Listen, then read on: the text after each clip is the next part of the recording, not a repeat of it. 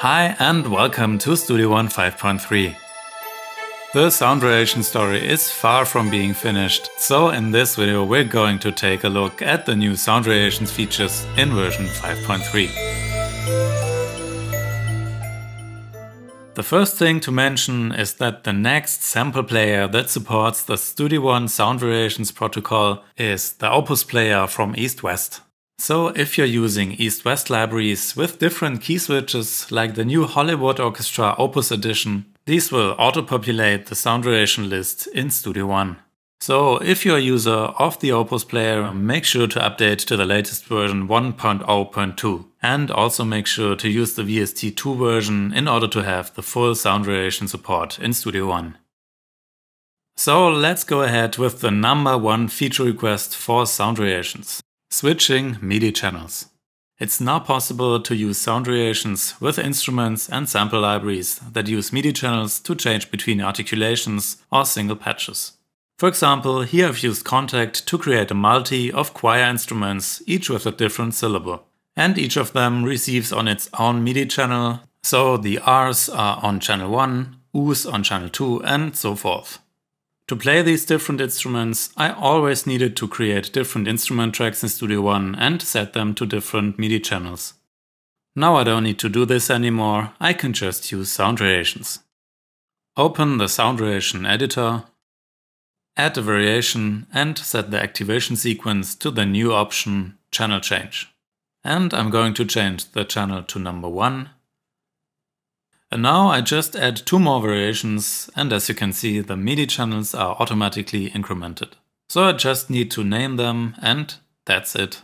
Now I can change the sound variations and this will send anything I play on the correct MIDI channel.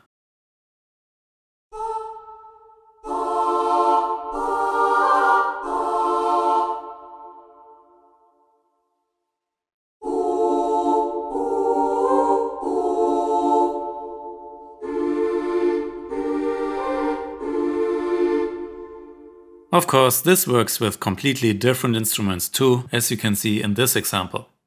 Here I have a piano, a harp and a synthesizer. And I can either decide which of them to play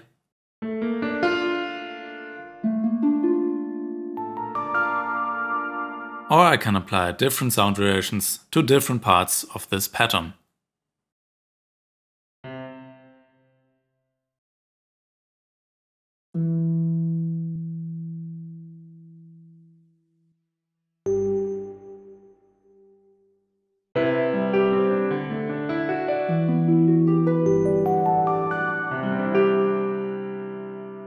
So this works with any library or sample player that uses MIDI channels for selecting articulations.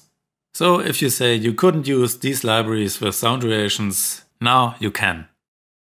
By the way, if you don't want to miss Studio One tutorials like this one, please subscribe to my channel.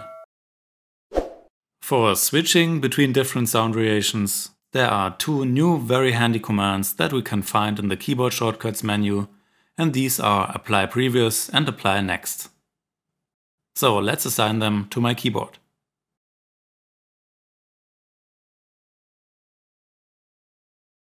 And now I can step through all the sound variations with just two keys on my keyboard, which is really, really useful for libraries that have a lot of variations such as VSL. Now I'm able to change between them extremely fast.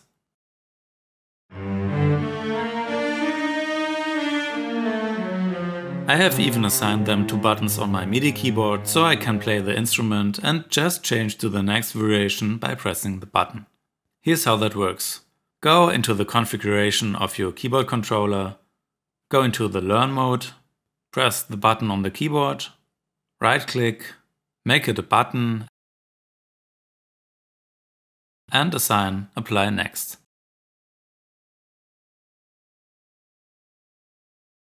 Maybe you have noticed this new plus button next to the sound variations list in the inspector. This button is going to insert the sound variation that's currently active. So if you have some notes and jammed a bit with different variations, you can now insert the variation that is currently selected in the list, for example here at the beginning.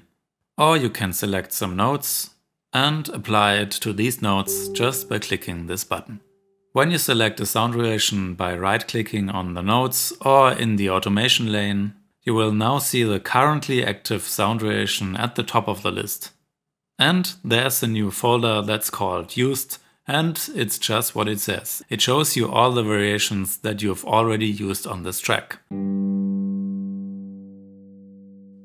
In Studio One 5.3 we have a new musical symbols tab that allows us to add symbols to notes and change the way these notes are played by the instrument.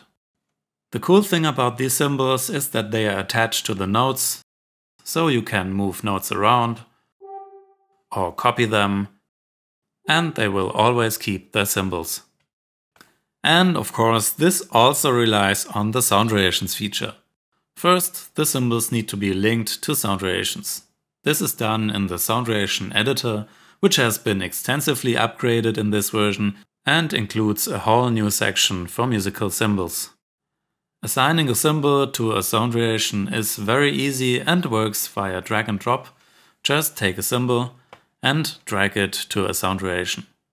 You probably don't want to assign all symbols for all your patches manually, so for this Presonus has created a nice feature that analyzes the variation names and tries to map symbols to corresponding sound variations automatically.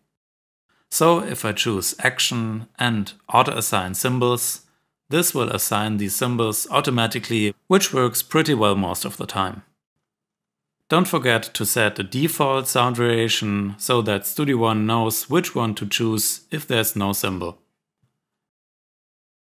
And now, once this is done, let's add some symbols and see how they trigger different sound variations.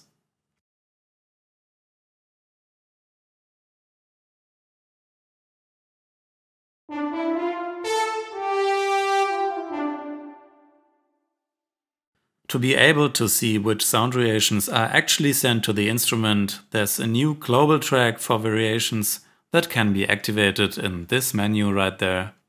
That's pretty cool because if you have used symbols and sound variations, you could basically hide these automation lanes and still see which articulations are effectively used. And maybe you don't even need the sound variation automation lane anymore, since we can just select notes and use the sound variation list in the inspector. Or you use the find and apply variation command. I've made a whole video on this function, so if you like to become even faster with sound variations, check it out. Please let me know in the comments how you like the new features and for which of them you would like to see more videos. So far, thanks for watching and see you next time.